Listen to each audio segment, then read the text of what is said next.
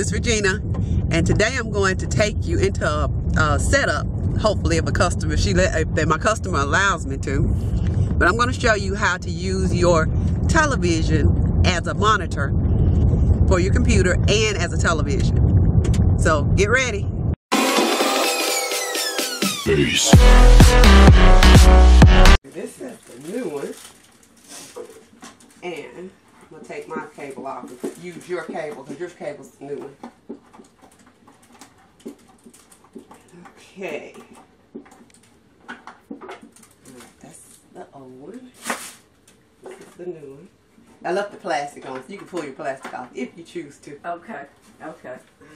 Since I don't have grandkids now, fooling them, I guess I can. I'll put this over here, Pop. When I go, I'll have that, uh, that's that remote that I'll take it back. That goes, I've got the receipt in here. It goes, Plugging it in. goes to Radio Shack. There.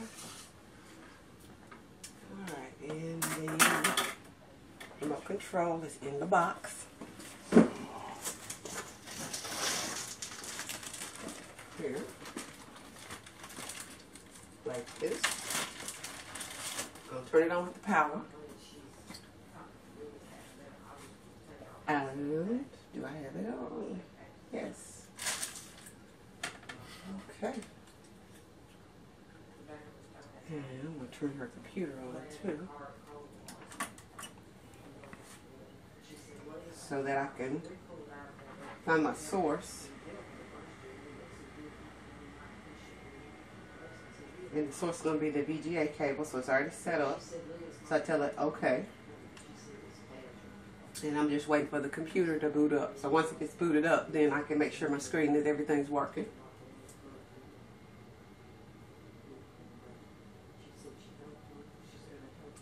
This takes a little bit of time.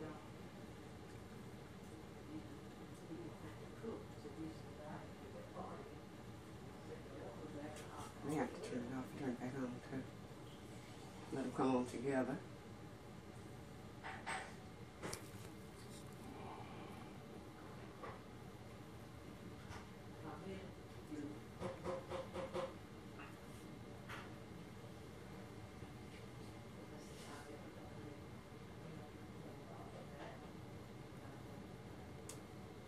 It's gonna take a while to see that one.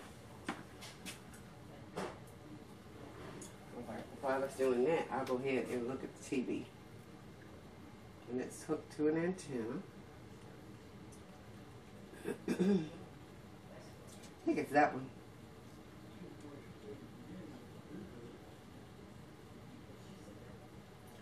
Nope, not that one. Alright.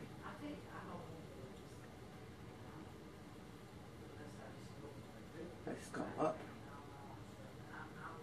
That's channel 9. That's probably the only channel I'm gonna be able to get. Maybe.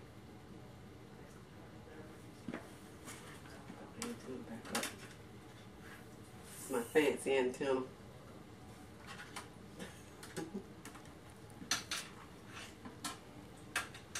Ooh. Yeah, that's that, and I hate not to.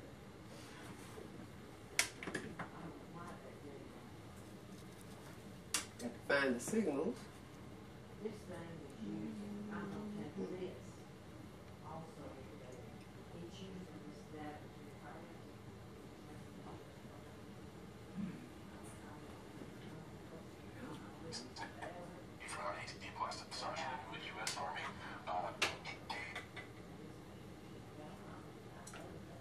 I'll ask her. I hope she has one. Because this is not working. uh, his, his incident. Yeah. This is what he got. Let's back and search. Menu. Channel. And it's just like when you set up any other antenna. You go and you locate your um, channels.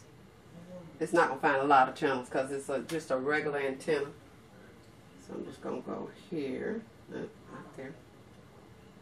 Here. And let it scan. And see which channels it, it'll pick up. If it will. But she's definitely going to have a a, a scan antenna to find some channels because this antenna is probably too weak. But a good digital antenna will make her be able to get any channels that she want to watch on this. And I'm gonna reboot her computer after I find a channel or two and see if it'll bring this monitor up. But it should be fine. So it's looking.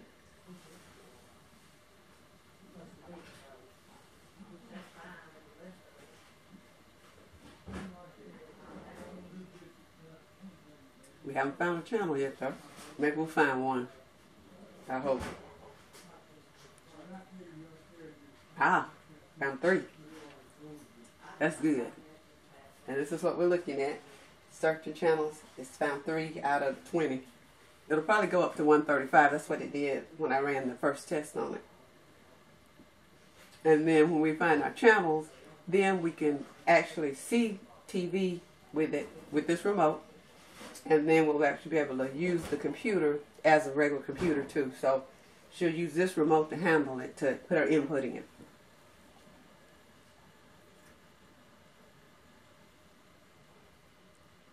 And imagine three is all we're gonna get. Oh, six. We found six channels. this is good because that is a cheap antenna. So with a nice antenna, she probably can pick up ten, at least ten.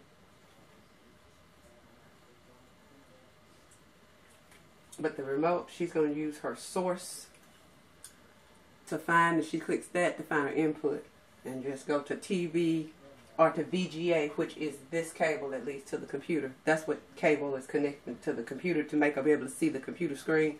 But when she's not using that, she uses source, input, and then she finds her channels. Six is pretty good though. I'm impressed.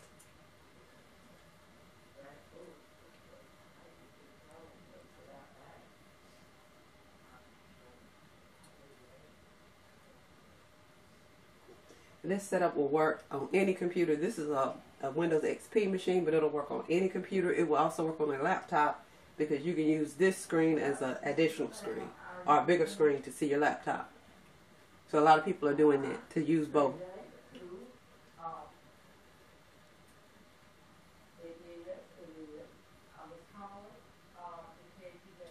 Get channel four. Not good, but it's there.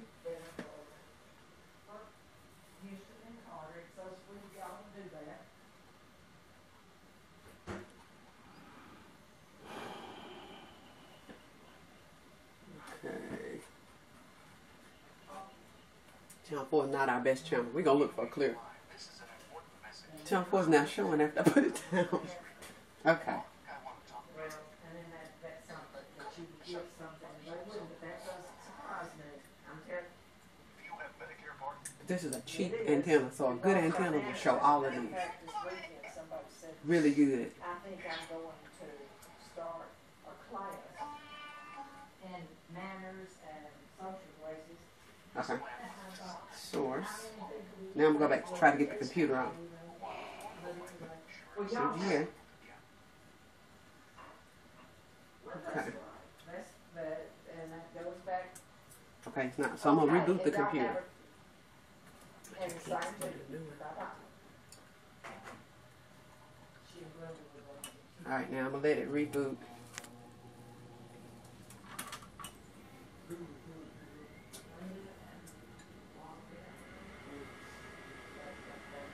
I think I just want to get this out of the way.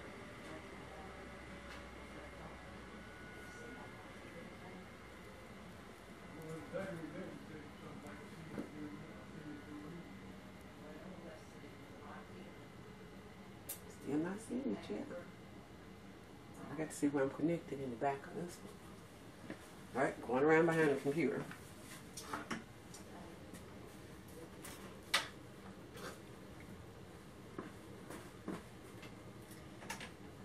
You have to plug the cable in for it to work.